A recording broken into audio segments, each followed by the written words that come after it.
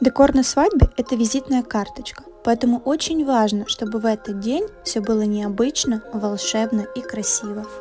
Не обязательно высокобюджетную делать свадьбу, важно, чтобы было стильно и продумано.